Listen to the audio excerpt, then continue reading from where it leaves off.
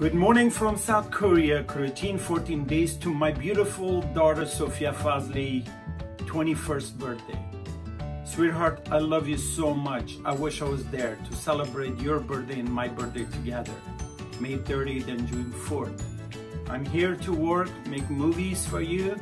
I love you so much. I want to thank you from the bottom of my heart to being a great daughter, great student, great to your mom, to your dad, to your friends. You're so kind to animals, to others. And don't ask more than that. And congratulations to your graduation junior college. I love you so much. You are the best daughter I ever asked God, and God gave it to me. Happy birthday, happy 21st birthday. Wish you all the best. Enjoy life. You never know, sweetheart. You never know. And I know you're a warrior. You can do it. You're gonna get a degree and you're gonna fight for it. Happy 21st birthday. I love you so much.